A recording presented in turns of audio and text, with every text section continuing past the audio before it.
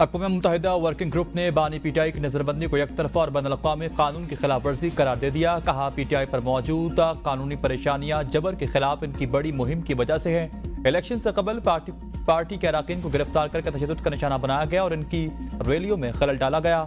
इंतबात के दिन वसी पैमाने पर धोखाधड़ी हुई और दर्जनों पार्लिमानी नशस्तें छीन ली गईं।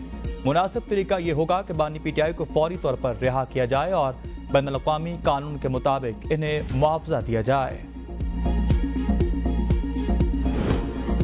बानी पीटीआई पर मुकदमा पाकिस्तान का अंदरूनी मामला है। पाकिस्तान आइन के मुताबिक अवाम के हकूक का एहतराम करे। नायब तर्जमान अमरीकी महकमा खारजा विदांत पटेल की प्रेस ब्रीफिंग कहा, अमरीकी आला हुकाम ने मुसलसल पाकिस्तान पर ज़ोर दिया है कि आइन के मुताबिक अवाम के हकूक का एहतराम किया जाए। इसमें इंसानी हकूक समेत इजहार राय की आज़ादी पुरम इजतम और मजहबी आज़ादी भी शामिल है। हम कांग्रेस की जेर अल्तवा कानून साजी पर बात नहीं कर सकते। अमरीकी जमहूरी निज़ाम में कांग्रेस हुकूमत की एक अलहदा शाख है। सियासी जमातें तब मखसूस सीटों की अहल होंगी जब कम अज कम एक नशस्त जीती होगी। गैर मुस्लिमों की मखसूस सीटों की तादाद दस है। अटॉर्नी जनरल के सुन्नी तहत कौंसिल के मखसूस सीटों से मुतल केस की समात में दलाल। कहा, दो सौ बहत्तर मुकम्मल सीटें थीं, तीन पर इंतबात मुलतवी हुए। तेरह आज़ाद उम्मीदवार मुंतब हुए। नौ उम्मीदवार सियासी जमातों में शामिल हुए। मखसूस सीटों का फार्मूला दो सौ पैंसठ नशस्तों पर नाफिज हुआ। दो हज़ार अठारह में साठ खवतिन और दस गैर मुस्लिम सीटें मखसूस थीं। मखसूस सीटों से मुतालिक 2002 में आर्टिकल इक्यावन को पुरकार लाया गया। जस्टिस अतरमदुल्ला ने रिमार्क किए अटॉर्नी जनरल साहब, आपने बुनियादी सवाल का जवाब ही नहीं दिया। इलेक्शन कमीशन ने एक सियासी जमात को इंतबात से बाहर कर दिया। इलेक्शन कमीशन ने गैर आइनी इकदाम किए तो क्या अदलिया की ज़िम्मेदारी नहीं है कि इसे दुरुस्त करे? आइन की बुनियादी जमहूरियत पर खड़ी है।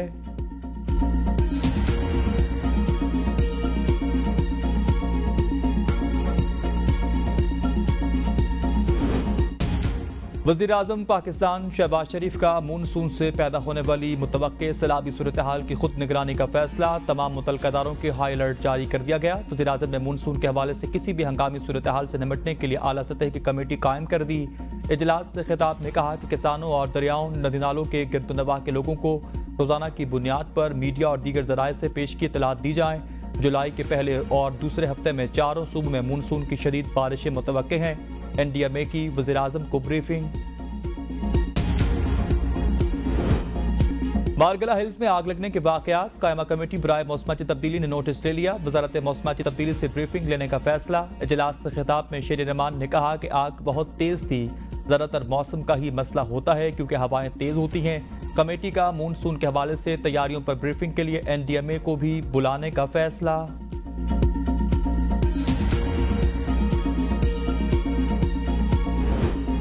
आटे की कीमत बढ़ाने वालों के खिलाफ कार्रवाई के मुतालबे की करारदाद पंजाब असम्बली में जमा। नून लीग रुकन हिना परवेज भट्ट की जानब से जमा कराई गई करारदाद में कहा गया है कि पंजाब में गंदम और आटा वाफर मकदार में मौजूद है।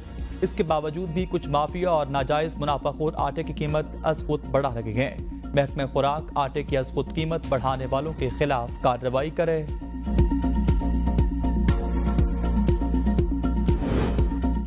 दहशतगर्दों को पाकिस्तान में छुपने की जगह नहीं मिलेगी। कौम को सिक्योरिटी फोर्सेस पर फख्र है। वजी दाखिला मौसम नकवी का खबर पख्तनख्वा के मुख्तलिफ़ इलाकों में दहशतगर्दों के खिलाफ कामयाब ऑपरेशन पर सिक्योरिटी फोर्सेस को खराज तहसीन, कहा पाक वतन से आखिरी दहशतगर्द के खात्मे तक ये जंग जारी रहेगी। पूरी कौम दहशतगर्दी के खिलाफ जंग में सिक्योरिटी फोर्सेस के साथ शाना बशाना खड़ी है। क्रिकेट का बेड़ा तो तबाह कर दिया है। पिशावर हाईकोर्ट के जस्टिस एस एम शाइक के के पी सी बी के स्क्रूटनी कमेटी के चेयरमैन को अहदे से हटाने के खिलाफ दरख्वास्त पर रिमार्क्स। इस्तफसार किया। इस इलेक्शन का दीगर ममालिक में क्या तरीक़ाकार है? वकील ने कहा कि चेयरमैन पी सी बी ने दरख्वास्त गुजार को अहदे से हटा दिया। मौसम नकवी खुद गैर कानूनी तौर पर तैनात हुए।